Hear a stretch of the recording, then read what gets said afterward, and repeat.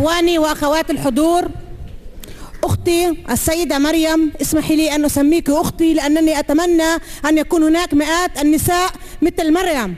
فكل التحية إلى الأخت مريم. جئت إليكم من فلسطين جئت إليكم من القدس من قلب الأقصى والقيامة التي تنزف كل يوم لأن هناك تطرف ديني من الإسرائيليين. ففي كل مكان يوجد تطرف ديني. علينا أن نستذكر في هذا اليوم أننا في الثامن من آذار.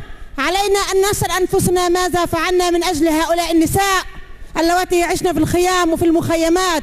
ماذا فعلنا من أجل النساء في ليبرتي علينا أن نعيدهم. هذا هو التحدي الكبير وهذا هو الاحتفال الذي يمكن أن نحتفل بأن نساء ليبرتي يعودن إلى أشرف. نحن النساء من يصنع السلام نحن النساء الأقوياء. أنا مسلمة وأفتخر أنني مسلمة وأفتخر أنني أواجه هذا التطرف الديني في كل مكان. علينا أن نستذكر أن لكم أخوات في فلسطين سجينات أسيرات شهيدات وأمهات الأسرى والشهيدات. علينا أن نستذكر أن في في سوريا وفي مخيم الزعتر هناك نساء لاجئات وهناك نساء مقاومات.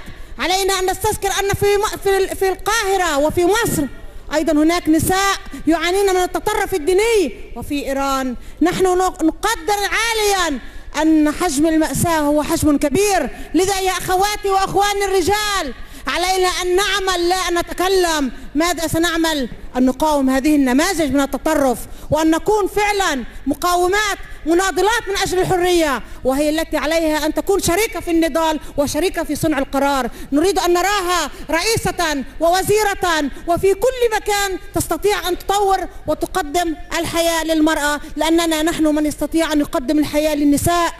من وصل إلى المناصب عليه أن يعمل من أجل الأخريات علينا أن لا ننسى أخواتنا في أشرف وفي ليبرتي وعلينا أن نقول أن نقول لبوران التي كسرت جدار الصمت جدار التطرف كما كسرت جواهر أبو رحمة في فلسطين جدار العنصرية الإسرائيلية. نحن أقوياء نحن أقوياء. نريد أن نراكم دائما أقوياء لأن الأمل هو من يعيد لنا الحب والكرامة والحرية. وشكرا.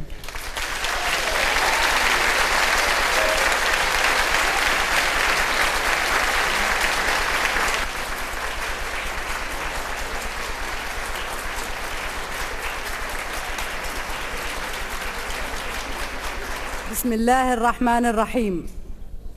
والصلاة والسلام على سيدنا محمد وعلى آله وصحبه أجمعين ومن تبعه بإحسان إلى يوم الدين وبعد.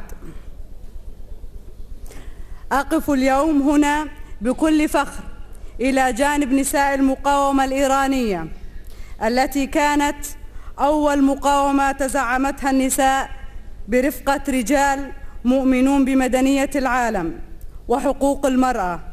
ليقولن لا للتطرف الديني والأمر والنهي حتى أصبحوا يصنعون يضعون أنفسهم مكان الله سبحانه وتعالى ويقررون أين تذهب الشعوب إلى الجنة أم إلى النار وكأن مفاتيح الآخرة بأيديهم. إخواتي إخواني اليوم نحتفل هنا وهناك في مخيم أشرف وليبرتي نساء يعانين الإرهاب والخوف والحجز والقتل العشوائي ويصمدن في مواجهة الصواريخ أمام صمت العالم وشعوبه المتحررة. بل ذهب الأمر إلى أبعد من ذلك حيث نرى صمت الأمم المتحدة وممثلها كوبلر الذي لم يعد محايدا مطلقا في قضية سكان مخيم أشرف وليبرتي.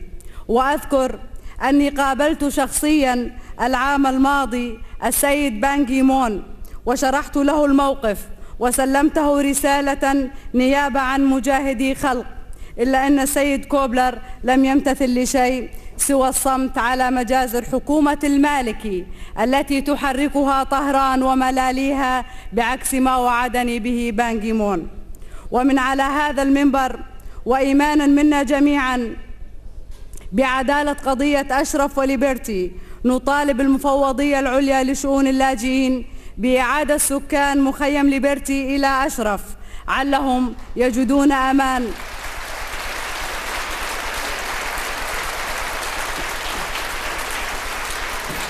علهم علهم يجدون آمان وتحصينات أفضل كما نطالب بإجراء تحقيق فوري وعاجل حول الجريمة التي وقعت في ليبرتي مؤخرا والتي يتضح ضلوع الملال فيها وذلك ما ثبت من وثائق كشفتها المقاومة الإيرانية.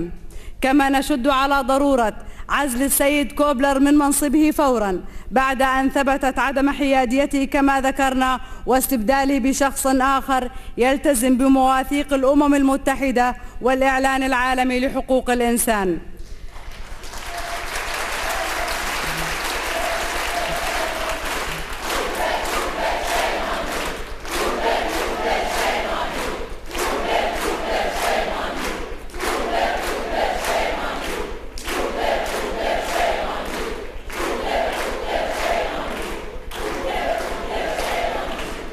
إخواتي إخواتي إخواني نحن مقتنعون بعدالة المقاومة الإيرانية وملتزمون بالنضال المعنوي معهم حتى تحقيق وإنقاذهم وتحرير أخواتنا في ليبرتي وكف يد ملالي طهران من التدخل أيضا في دول الجوار العربي وتأليب الشعوب وخلق النعرات بينهم. وشكرا.